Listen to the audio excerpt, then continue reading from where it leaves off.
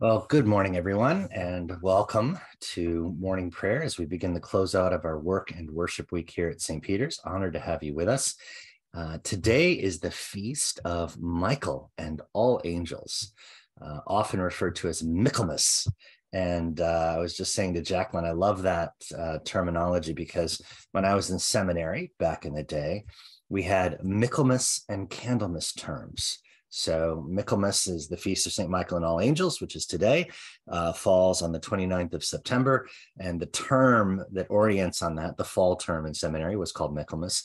Candlemas falls in February, and in the same way, um, is marked and celebrated, and that's that was the onset of the term for us in seminary, the winter spring sem, winter spring term. So the feast of Michael and all angels is an interesting one. The angels really don't exist but for God.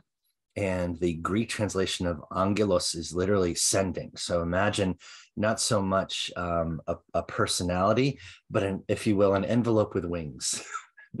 these are the bear, these are the these are the manifestations of the bearers of the messages, the intentions of God over time they gained uh, personalities and if you read the scriptures and look for the evidence of the imprint of these angels um, they have names they have stories they have personalities um, particularly the archangels michael raphael uriel and ariel um, are the are the four and um, we remember them with intention.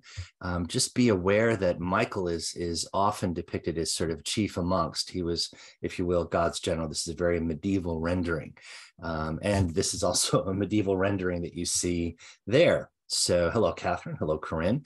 Um, Michael is credited with being uh, the herald.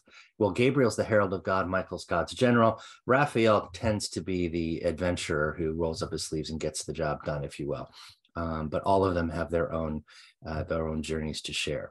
I, am sorry, I said Ariel, not Gabriel. I should have said Gabriel instead. Um, in the book of Revelation, oftentimes it is Michael who's depicted as the one who takes on the great beast and casts it down from from heaven to hell. This is considered when Satan, the morning star, is thrown down from heaven. Um, he is the lost archangel in any event, um, we remember all those sendings of God that connect us. And oftentimes you'll see um, the story of Jacob with Jacob's ladder and the messengers running up and down that ladder to heaven to, to convey God's intentions to the world. They are conveyors of good news. They are conveyors of God's judgment. They are conveyors of God's intention. And we mark and celebrate all angels in our lives today. Like and subscribe, hit the bell for notifications. We are glad to see you and celebrate your presence as we move into morning prayer. And uh, if you have any prayer intentions, please put them in the live chat in Facebook. Or if you have um, any other concerns, uh, please note them in YouTube after you've liked, subscribed, and hit the bell for notifications. All right, we are ready for morning prayer. Here we go. Send out your light and your truth, that they may lead me and bring me to your holy hill and to your dwelling. Let us confess our sins against God and our neighbor. Most merciful God, we confess that we have sinned against you in thought, word, and deed, by what we have done and by what we have left undone. We have not loved you with our whole heart. We have not loved our neighbors as ourselves. We are truly sorry and we humbly repent. For the sake of your Son, Jesus Christ, have mercy on us and forgive us, that we may delight in your will and walk in your ways to the glory of your name. Amen. Almighty God, have mercy on us, forgive us all our sins through our Lord Jesus Christ, strengthen us in all goodness and by the power of the Holy Spirit, keep us in eternal life. Amen. Lord, open our lips, and our mouth shall proclaim your praise. Glory to the Father, and to the Son, and to the Holy Spirit, as it was in the beginning, is now, and will be forever. Amen. Alleluia. Please join me for the antiphon and invitatory. God is the rock of our salvation. O come, let us worship. Be joyful in the Lord, all you lands. Serve the Lord with gladness and come before his presence with a song. Know this the Lord himself is God. He himself has made us, and we are his. We are his people and the sheep of his pasture. Enter his gates with thanksgiving, go into his courts with praise. Give thanks to him and call upon his name. For the Lord is good, his mercy is everlasting, and his faithfulness endures from age to age. God is the rock of our salvation. Oh, come, let us worship. Please join me in the psalm. It's the first half of 105. I'll offer the odd. Please respond with the even. Oh, give thanks to the Lord, call on his name, make known God's deeds among the peoples sing to God, sing praises to God, God's wonderful works. Glorify, glory in the Lord's name. Let the hearts of those who seek the Lord rejoice. Seek the Lord and God's strength. Seek her presence continually. Remember the wonderful works God has done, the miracles and the judgments that have been uttered. O offspring of her, his servant Abraham, children of Jacob, his chosen ones. He is the Lord our God. God's judgments are in all the earth. God is mindful of his covenant forever, of the word that she commanded for a thousand generations. The covenant that God made with Abraham, the Lord sworn promise to, to Isaac. Which God confirmed to Jacob as a statute, to Israel as an everlasting covenant saying to you, I will give the land of Canaan as your portion for an inheritance. When they were few in number, of little account, and strangers in it. Wandering from nation to nation, from one kingdom to another people. God allowed no one to oppress them. He rebuked rulers on their account. Saying, Do not touch my anointed ones, do my prophets no harm when God summoned famine against the land and broke every staff of bread. The Lord had sent a man ahead of them, Joseph, who was sold as a slave. His feet were hurt with fetters, his neck was put in a collar of iron. Until what he had said come to, came to pass, the word of the Lord kept testing him. The ruler sent and released him. The ruler of the people set him free. He made him lord of his house and ruler of all his possessions. To instruct his officials at his pleasure and to teach his elders wisdom. Glory to the Father, and to the Son, and to the Holy Spirit, as it was in the beginning, is now, and will be forever. Amen. A reading from the book of the prophet Hosea. Blow the horn in Gibeah, the trumpet in Ramah Sound the alarm at Beth Aven. Look behind you, Benjamin. Ephraim shall become a desolation in the day of punishment. Among the tribes of Israel, I declare what is sure. The princes of Judah have become like those who remove the landmark.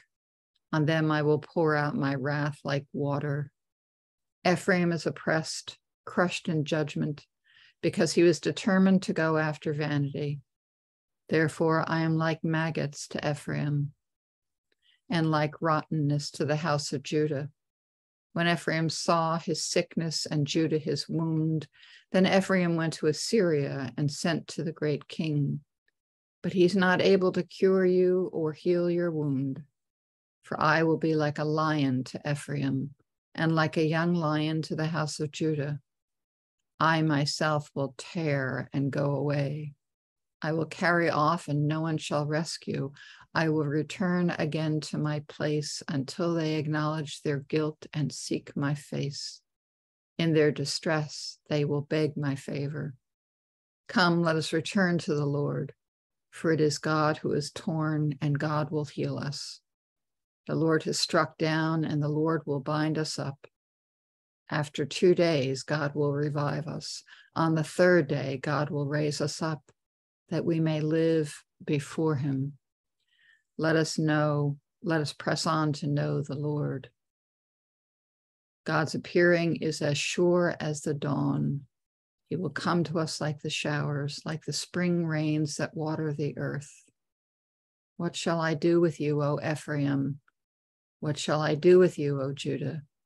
Your love is like a morning cloud, like the dew that goes away early. Therefore, I have hewn them, hewn them by the prophets. I have killed them by the words of my mouth, and my judgment goes forth as the light. For I desire steadfast love and not sacrifice, the knowledge of God, rather than burnt offerings. The word of the Lord. Thanks be to God. Our first canticle this morning, the Song of Zechariah, together. Blessed be the Lord, the God of Israel. He has come to his people and set them free. He has raised up for us a mighty Savior, born of the house of his servant David. Through his holy prophets, he promised of old that he would save us from our enemies, from the hands of all who hate us. He promised to show mercy to our fathers and to remember his holy covenant. This was the oath he swore to our father Abraham to set us free from the hands of our enemies, free to worship him without fear, holy and righteous in his sight all the days of our life. You, my child, should be called the prophet of the Most High, for you will go before the Lord to prepare his way, to give his people knowledge of salvation by the forgiveness of their sins. In the tender compassion of our God, the dawn from on high shall break upon us to shine on those who dwell in darkness and the shadow of death, and to guide our feet into the way of peace. Glory to the Father, and to the Son, and to the Holy Spirit, as it was in the beginning, is now, and will be forever. Amen. A reading from the Acts of the Apostles. When the seven days were almost completed, the Jews from Asia who had seen him in the temple stirred up the whole crowd. They seized him, shouting, Fellow Israelites, help! This is the man who is teaching everyone everywhere against our people, our law, and this place. More than that, he's actually brought Greeks into the temple and has defiled his holy place.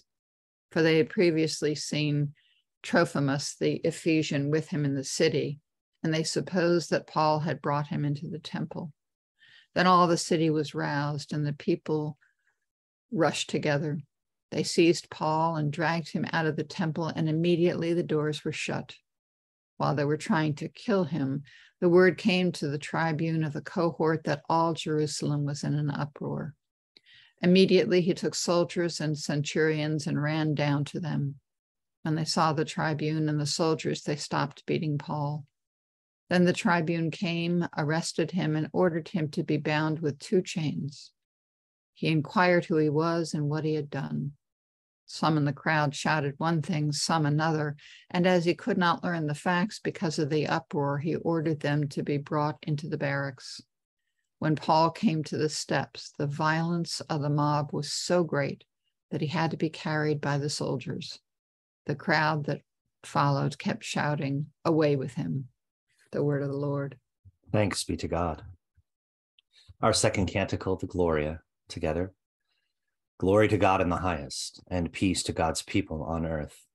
Lord God, heavenly King, almighty God and Father, we worship you, we give you thanks, we praise you for your glory. Lord Jesus Christ, only Son of the Father, Lord God, Lamb of God, you take away the sin of the world, have mercy on us. You are seated at the right hand of the Father, receive our prayer. For you alone are the Holy One, you alone are the Lord. You alone are the Most High, Jesus Christ, with the Holy Spirit, in the glory of God the Father. Amen. The Creed. I believe in God, the Father Almighty, creator of heaven and earth. I believe in Jesus Christ, his only Son, our Lord. He was conceived by the power of the Holy Spirit and born of the Virgin Mary. He suffered under Pontius Pilate, was crucified, died, and was buried. He descended to the dead. On the third day, he rose again. He ascended into heaven and is seated at the right hand of the Father. He will come again to judge the living and the dead. I believe in the Holy Spirit, the Holy Catholic Church, the communion of saints, the forgiveness of sins, the resurrection of the body, and the life everlasting. Amen. The Lord be with you. Let us pray. Our Father in heaven, hallowed be your name. Your kingdom come, your will be done, on earth as in heaven. Give us today our daily bread. Forgive us our sins as we forgive those who sin against us. Save us from the time of trial and deliver us from evil. For the kingdom, the power, and the glory are yours, now and forever. Amen. Save your people, Lord, and bless your inheritance. Govern and uphold them now and always. Day by day, we bless you. We praise your name forever. Lord, keep us from all sin today. Have mercy on us, Lord, have mercy. Lord, show us your love and mercy. For we put our trust in you. In you, Lord, is our hope. And we shall never hope in vain. Everlasting God, you have ordained and constituted in a wonderful order the ministries of angels and mortals. Mercifully grant that as your holy angels always serve and worship you in heaven, so by your appointment they may help and defend us here on earth. Through Jesus Christ our Lord, who lives and reigns with you and the Holy Spirit, one God, forever and ever. Amen. O God, the author of peace and lover of concord, to know you is eternal life and to serve you is perfect freedom. Defend us, your humble servants, in all assaults of our enemies, that we, surely trusting in your defense, may not fear the power of any adversaries through the might of Jesus Christ our Lord. Amen.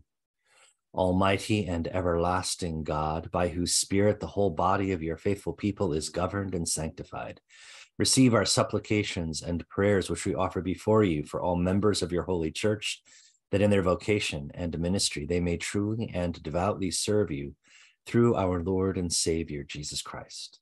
Amen. Please join me in a prayer attributed to St. Francis. Lord, make us instruments of your peace. Where there is hatred, let us sow love. Where there is injury, pardon. Where there is discord, union. Where there is doubt, faith. Where there is despair, hope. Where there is darkness, light. Where there is sadness, joy. Grant that we may not so much seek to be consoled as to console, to be understood as to understand, to be loved as to love. For it is in giving that we receive, it is in pardoning that we are pardoned, and it is in dying that we are born to eternal life. Amen. I invite your prayers of intercession and thanksgiving. We pray for Kate, who had to go to the hospital last night, for Dash in recovery of health, Joe and Brenda for recovery of health, give thanks to the ministry and witness of our confirmands. Give thanks for the ministry and witness of our volunteers at the community supper and mini mart food pantry that served everyone last night.